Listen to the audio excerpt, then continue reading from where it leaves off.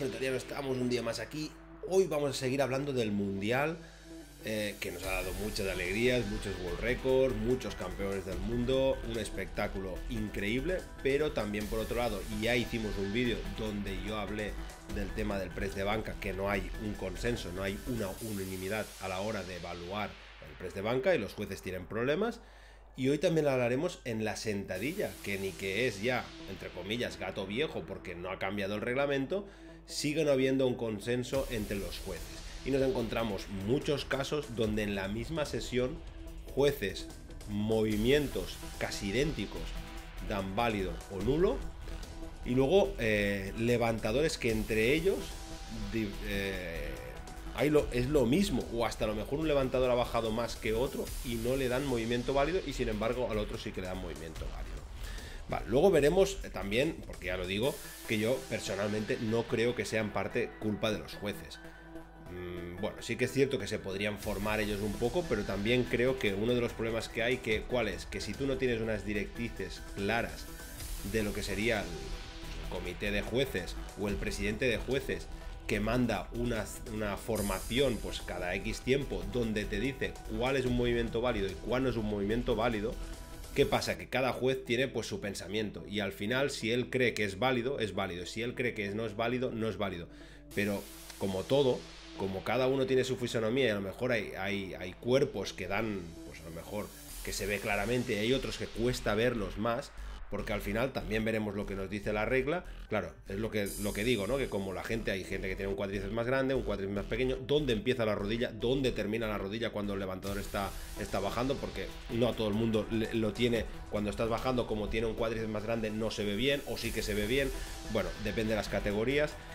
Entonces debería haber en este caso un consenso, unos, eh, una formación mensual, trimestral, anual, cada X tiempo, donde los jueces pudieran ver levantamientos y hubiese un presidente de jueces, ¿vale? Estamos hablando de IPF, estamos hablando de EP, que cada X tiempo les pasase una serie de vídeos y les dijese, mire, esto, esto, esto, esto es válido, esto, esto, esto, esto es nulo. En este campeonato estos jueces se equivocaron, o el juez que dio una roja se equivocó y debería ser blanco, o al revés, dos jueces dieron blanco y un rojo y esto debería haber sido movimiento nulo. ¿Para qué? Para intentar unificar criterios entre los jueces.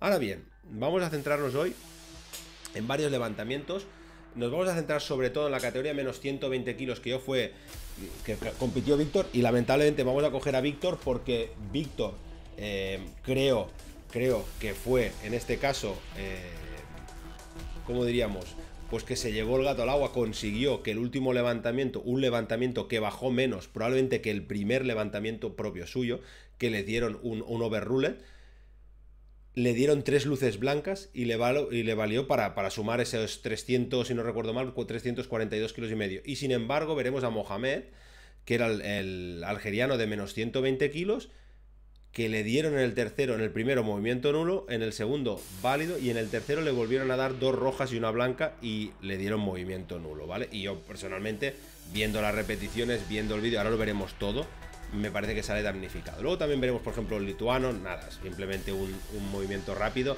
del lituanado comparado con, con Víctor y, y Mohamed. Y luego finalmente también veremos a Sonita, los dos World Records que hizo, mm, que le dieron dos blancas y una roja, y en el segundo también le dieron dos blancas y una roja, porque en esa sesión de más 84 kilos, más 120 kilos, había un juez lateral que todo el rato daba bastantes rojas. Por lo menos el criterio fue bastante unánime en roja, roja, roja, si no lo veía claro. Pero ya digo, en menos 120 vamos a ver. Mira, primero vamos a empezar estos movimientos de, Víctor Vázquez y, Mohamed, que en este movimiento, los dos en el vídeo, se ve eh, que fue nulo. ¿Vale? Les dieron nulos a los dos. Eh, luego veremos el movimiento que les dieron válidos a los dos levantadores, que fue el segundo levantamiento. ¿vale? Este segundo levantamiento que los dos repitieron peso, Mohamed 360 y Víctor Vázquez 335 kilos, estos los dos les dieron movimiento válido. Y ya digo que en el vídeo a lo mejor cuesta verlo, ¿no? Mm, o cuesta diferenciar. Bueno, pues lógicamente yo he puesto aquí unas pantallitas donde veremos la diferenciación. Y en esta primera pantalla lo que vemos es a la izquierda el lituano, movimiento nulo al lituano, y luego vemos a Mohamed y a Víctor Vázquez en estos movimientos también eh, iniciales, ¿vale? y los tres movimientos fueron nulos. Estos tres movimientos fueron nulos de los tres levantadores. Son sesiones distintas, ¿eh? ya digo, de, sesiones distintas. Luego saltamos a este otro movimiento, ¿vale? Que aquí a, a Víctor Vázquez le dan válido y a Mohamed le dan nulo. ¿Vale? Este, este movimiento Mohamed, que son 375 kilos, le dan movimiento nulo. Y Víctor Vázquez, fijémonos que tiene 342 kilos y medio, le dan movimiento válido.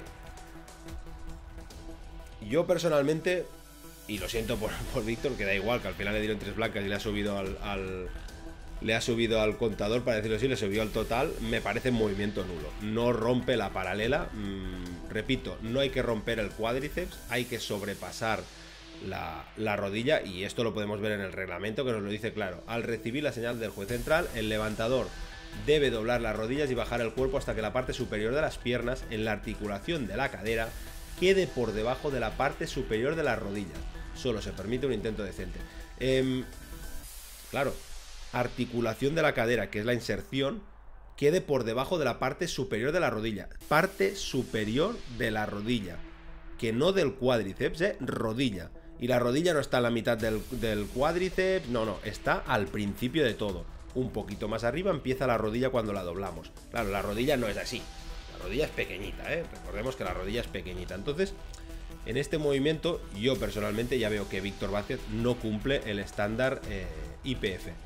El algeriano, bueno, el algeriano me genera mis dudas también, fijaros que el movimiento es distinto. Eh, Víctor abre mucho más las piernas, tiene un movimiento mucho más amplio. El, el, algeriano tiene, está un poquito más cerrado de piernas.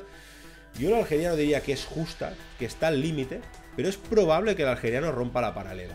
Pero, repito, lo que no puede ser es que el del algeriano sea nulo y el de Víctor Vázquez sea válido. O sea, si de estos dos movimientos uno es nulo, es el de Víctor Vázquez.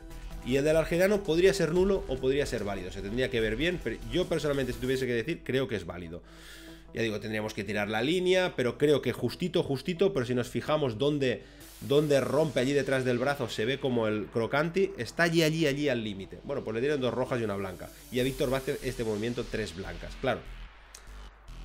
Es lo que digo, es la misma sesión, dos o tres levantamientos de, de diferencia, ¿no? Y luego aquí podemos ver al algeriano justamente con los tres movimientos. Opener a la izquierda, segundo intento, la segunda que fue, fueron tres luces blancas, y el de la derecha, los 375 que fueron eh, dos luces, eh, perdón, dos, una luz blanca y dos rojas. ¿Vale? Fijémonos que más o menos, más o menos, más o menos en las tres es bastante parecido. Sí que es cierto que en el primero parece que a lo mejor medio centímetro se queda un poquito más arriba, pero la segunda y la tercera yo las veo bastante, bastante, bastante similares, ¿eh? bastante similares. Sí que es cierto que a lo mejor la segunda rompe un pelín más y la tercera un pelín menos, pero ya digo, mmm, lo veo complicado, ¿eh? Y luego vemos aquí a Víctor en los tres movimientos, vemos el opener, que en el opener le dieron dos blancas y una roja y la mesa le hizo overruled, mm, personalmente creo que es nulo, por muy poco pero es nulo. El segundo, yo personalmente creo que muy justito, pero podría ser que sí que fuese válido. O sea, diría que baja más que en el primero, pero es que el tercero probablemente baja menos o igual que el primero. Yo creo que baja hasta un, pelo, un pelín menos que en el primero y le dan tres luces blancas, ¿vale? Entonces, en este caso, yo personalmente creo que se equivocaron a su favor. Luego, lógicamente, espero vuestros comentarios abajo. ¿Creéis que es cierto que se equivocaron y que lo de Víctor, el tercer intento, debería ser haber sido nulo?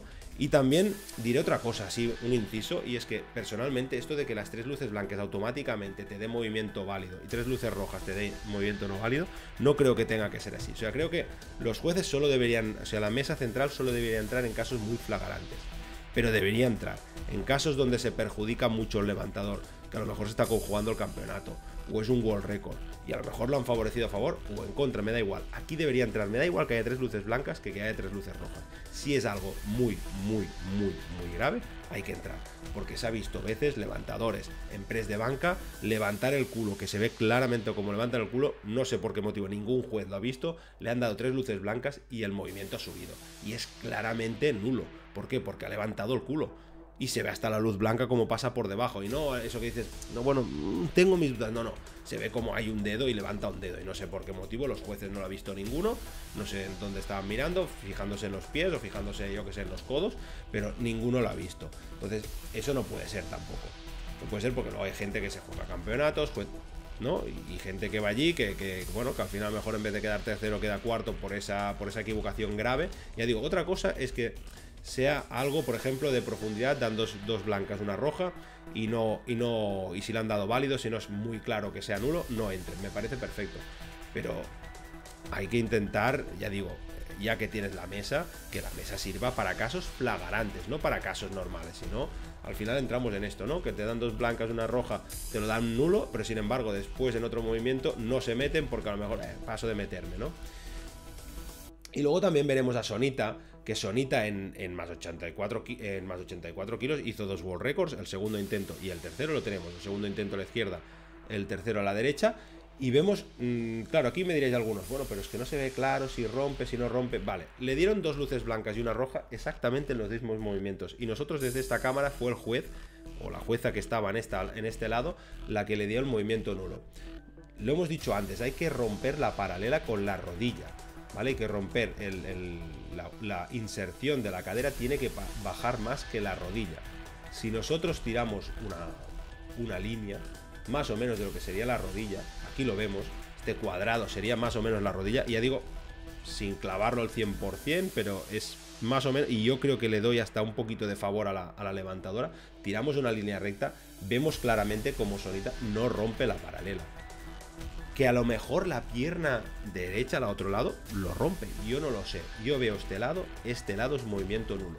Me sorprende, por ejemplo, a Víctor Vázquez que en el opener, ¿no? Eh, le dieron dos blancas y una roja y se lo tiraron atrás. Y sin embargo, en este movimiento, que era World Record, le dieron, es cierto que era otra sesión, era más 84 kilos, por lo tanto iban con más 120 kilos masculinos, y esto fue el domingo, y menos 120 kilos fue el sábado, probablemente jueces distintos. Pero me sorprende, ¿no? Que la mesa por ejemplo, a Víctor Vázquez el día antes, dos blancas y una roja, que es movimiento nulo, ¿eh? le dan nulo, y sin embargo aquí con dos blancas y una roja, la mesa central no interviene, y me parece nulo. ¿eh? Digo, repito, lo siento mucho, por lo menos esta pierna es nulo. Si tú una pierna lo ves claro que es nulo, porque al final la mesa solo ve un lado. La mesa solo ve este movimiento. Y desde este movimiento de aquí, desde esta perspectiva, decide si es válido o no es válido. ¿Vale?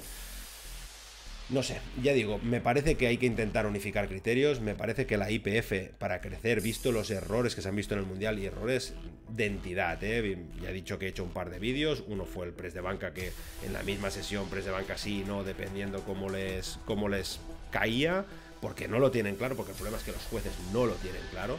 En sentadilla también estamos viendo que el mismo levantador bajando muy parecido uno sí uno no, o que el otro levantador eh, en una sentadilla que aún baja menos que otra, le dan tres luces blancas y luego, sin embargo, le habían dado una, roja y dos blancas. Quiero decir que no, que no puede ser, que hay que unificar criterios. Creo que los jueces, eh, y no digo, repito, no digo que sea culpa toda suya, eh, que sí, que luego ellos también se podrían formar, pero creo que tiene que ser básicamente, en este caso, el, presidente de jueces el que cree una, una, formación, y en este caso debería ser el de la IPF. ¿eh? Debería ser el de la IPF, hiciese una serie de vídeos, decir, mire, esto es válido, este aquí no se me he equivocado. Por ejemplo, después de campeonatos importantes, el europeo, el mundial, Sheffield, por ejemplo, después de estos campeonatos, hacer unos vídeos recopilando levantamientos y diciendo esto sí, esto no, esto debería ser sido válido, esto debería haber sido nulo, pam, pam, pam, y hacer una serie de vídeos, ¿para qué? Para mandárselo a todos los jueces de todos los países y poder hacer una formación. Y luego, lógicamente, cada país tendrá su, presidente de, jueces y podrá, pues a lo mejor, también interpretar levantamientos, hacer su propia formación para intentar unificar criterios dentro del país. También me parece bien, pero deberían hacerlo y ponerse las pilas porque al final el powerlifting está creciendo. Eh, ahora se empieza a mover un poquito de dinero, no mucho, pero es cierto que por ejemplo el mundial el ganador se llamaba 3.000 pounds, el segundo 2.000 y el tercero 1.000 por lo tanto son 3.000 y pico de euros, 2.000 y pico y 1.000 y pico de euros, no es un pastizal, pero por lo menos te paga el campeonato, te paga el desplazamiento, etcétera, etcétera, y luego Sheffield se mueve mucho dinero, por lo tanto, poco a poco, como el powerlifting parece que va creciendo y cada vez hay más dinero de por medio, poquito a poco los, los levantadores pues tienen becas, en los campeonatos si quedan bien también reciben dinero de los eventos internacionales importantes, pues creo que hay que empezar poco a poco también a exigir más a los jueces, que lógicamente pues cada vez tienen más responsabilidad en sus, en sus manos o en, en, sus ojos, ¿no? Porque lo ven con los ojos y tienen que, tienen que intentar unificar criterios. Con esto, chicos, me gustaría mucho saber vuestra opinión. ¿Qué os parece? ¿Es cierto? ¿Creéis que los récords de Sonita fueron válidos? ¿No fueron válidos? ¿Creéis que realmente Víctor Vázquez salió beneficiado del, de, los jueces que le tocó en ese último levantamiento, en ese tercer levantamiento, o al revés, creéis que no, que fue válido y que nada de beneficio, que fueron tres luces blancas como la copa de un pino. ¿Creéis que Mohamed realmente en su tercer intento, que era medalla de oro de movimiento, de esos 375 kilos, al final se quedó con plata, eh, eran válidos o también creéis que eran nulos? Con esto chicos, os leo en comentarios, como siempre agradecer vuestro apoyo al canal y nos vemos en próximos vídeos.